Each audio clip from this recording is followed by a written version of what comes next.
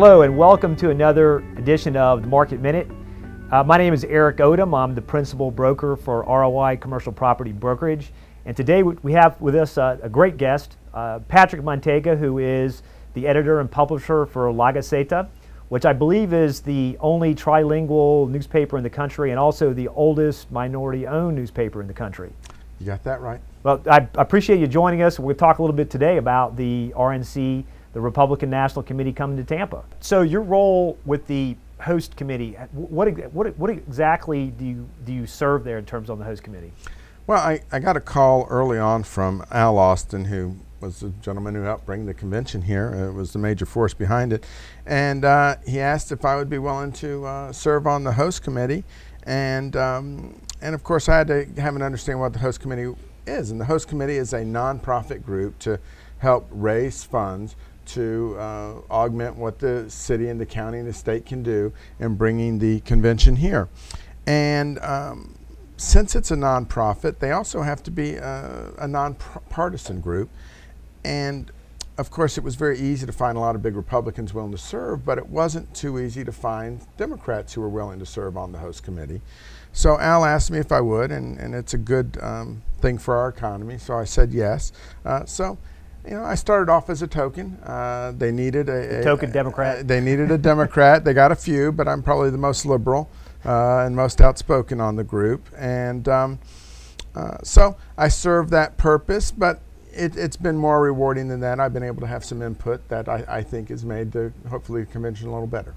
Well, let's talk a little bit about the number of people that you're expecting.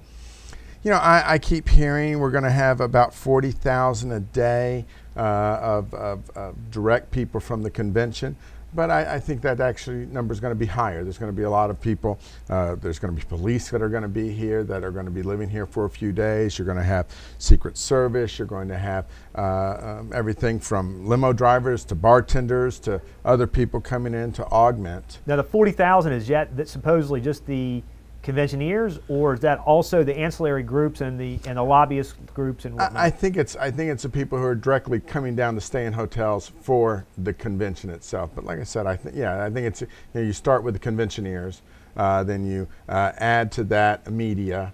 And um, you add to that, um, um, you know, the people putting on the actual convention. I think that's that's where you're getting that number. And you know, we talked about, uh, you know, earlier about the um, short-term economic impact, which is obviously the, the, hotels and restaurants and probably leaving some other uh, folks out there in terms of what, what would be immediate economic impact. And of course, part of the discussion, the point of sitting down with you today was to talk a little bit about the economic impact of the, of the convention. What about some of the long-term things? I understand Governor Scott has uh, some ideas of getting corporations together or CEOs. Do you, do you, can you talk, tell us a little bit about that? Well, I believe that the, the governor, along with others, are going to try and take advantage of selling Florida or selling Tampa or selling whatever you want to sell um, at this moment. You know, generally we have to go to Washington to lobby. In this case, Washington's coming to us. So uh, while Scott's going to be working on these CEOs who are in town and try and sell Florida, uh, I believe our local chamber and uh, some people locally are going to try and sell some of these politicians on needs of our community uh, port funding, airport funding, uh, roads, uh, uh, maybe veterans affairs issues, things like this. So I think we're all going to try and take the opportunity.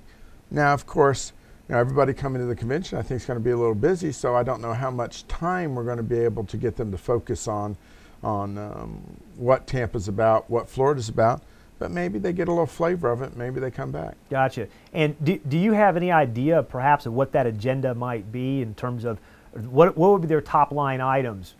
Whether you know them or not, but would, I mean, in terms from Scott's point of view, what would be your point of view in terms of what are the top three or four items you think they might be able to get accomplished? Um, I think probably uh, um, the things they are hoping to get accomplished is to um, find some, hopefully some, some money to, to help them with needed projects here. That would be the, the, the thing that I think would be the easiest to accomplish because you, you have the political infrastructure here. I think the thing that's a little bit more intangible, but something that they would like to accomplish is trying to um, um, talk about incentives that the state of Florida has in bringing corporations down here or bringing uh, uh, backroom operations here or whatever um, um, the economic um, uh, whatever that business has uh, and bringing them here to Florida. So I think that's going to be probably their second goal.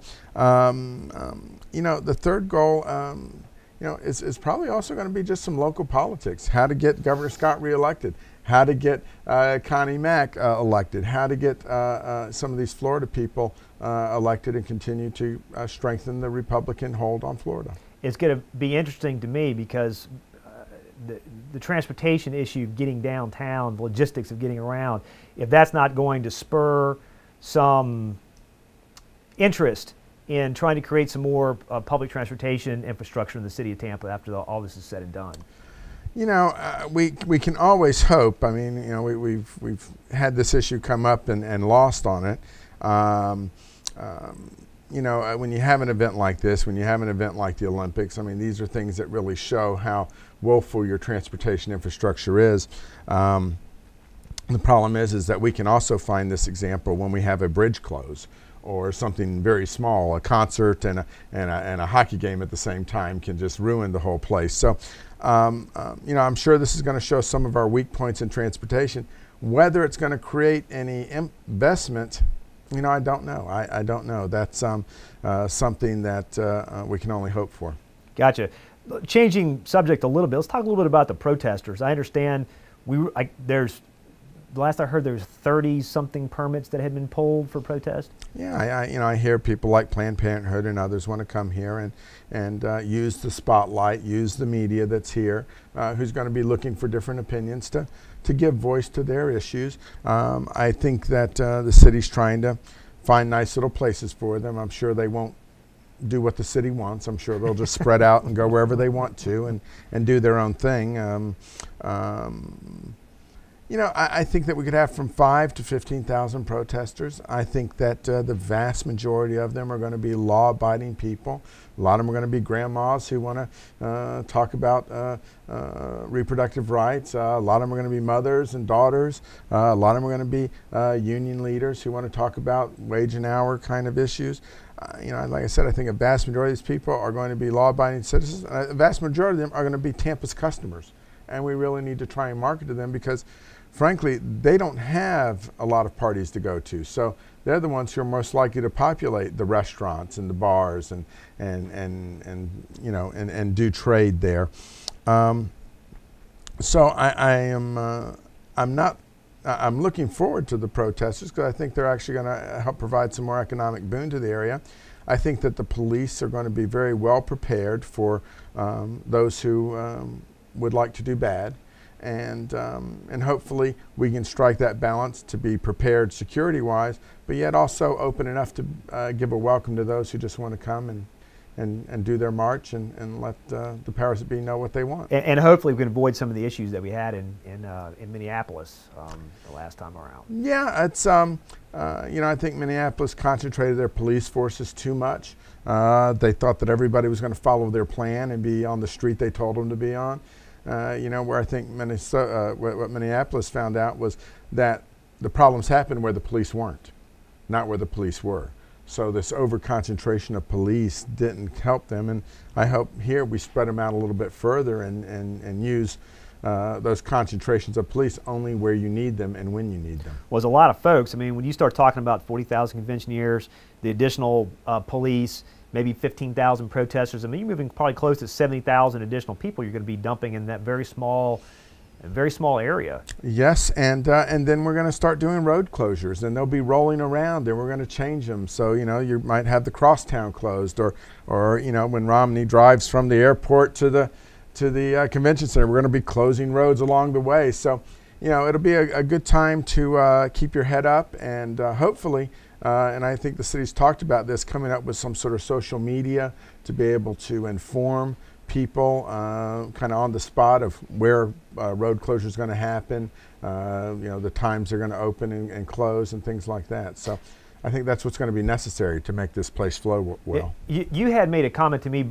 before the interview about the local short term economic impact that really is starting to happen now, right? You know, a lot of people were frustrated early on. They they thought that um, they were going to put their name in, in the bucket, and in January, February, and March, uh, somebody was going to call them and they were going to get a firm contract to do A, B, or C. And what I think people are finding out is that a lot of this stuff is happening at the last minute. While the Republican convention might know what it's doing inside the Ice Palace and who's going to do the staging, who's going to do, do, the lighting, I think that all the ancillary parties uh, that are happening are being planned right now. I'm with the Cuban Club. Um, uh, I'm on the foundation that owns that building, and we're currently negotiating with five different groups that want to rent it over five different days and there's still not a firm signed contract with anybody. We're wow. still working it out, and that means that there's still opportunities for uh, food vendors. There's still opportunities for lighting people. There's still opportunities uh, even for you know people to be janitors and people to to serve liquor. All those opportunities are still existing. You know, we haven't even placed a liquor order yet, and, and that means that Southern Wine and, and those other groups that sell liquor are going to be busy and have to put extra people Uh, on their trucks to get their stuff delivered. So I think that, that, that if you haven't got a contract yet or you haven't seen any dollars yet from the convention, I think that right now is the time to really get out there and push hard because I think there are opportunities more today than there were two, two or three months ago. And for the local vendors, I, I, there's websites and whatnot that are created for people to go to. Is there any other way that you might suggest for local vendors to, to stick their nose in there? By reaching out to uh, network with businesses that are doing stuff with the convention. Um, you know, I would talk to hotels. Uh, I would talk to um, um, you know places like the Cuban Club or, or the Italian Club or others that, that are, are rental places uh, to call up um, limo companies, cab companies, and things like that. See if there's some things that uh, they're going to need, extra supplies, extra people to help them um, or if you have some sort of additional service that, that might work out well, you know, try and sell it through somebody else. Gotcha. Is there anything else you'd like to talk about in terms of maybe special interest that people might not know? Well, I think that a lot of people are, are kind of fearful of the convention. They're worried about, you know, mass violence. They're worried about, you know, gridlock and things like this. And and, and I'm not saying none of that's going to happen except for the mass violence. We, we won't predict it, and I don't think it'll happen. But I think that um, we should embrace uh, this event. It'll be neat. Uh, we'll see a lot of uh, big names on the streets. Um, uh, we'll see a lot of weird things happening, uh, weird people. There'll be art shows that are based on politics. I, I, heard of uh, this one group from New York coming down.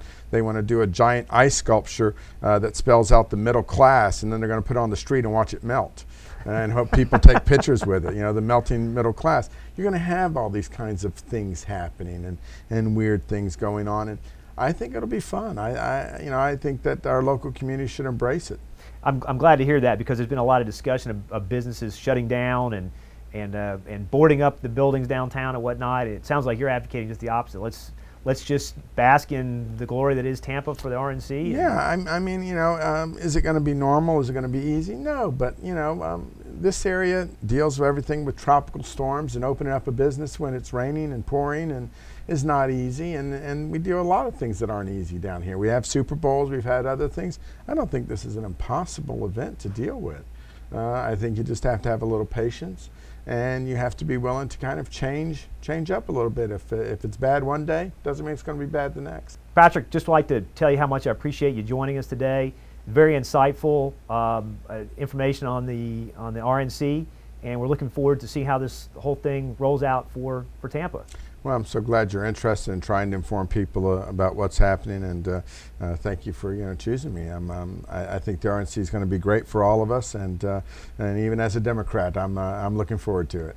Well, there you go. The the token Democrat has spoken on the RNC, and we're excited about what this holds for Tampa in the future.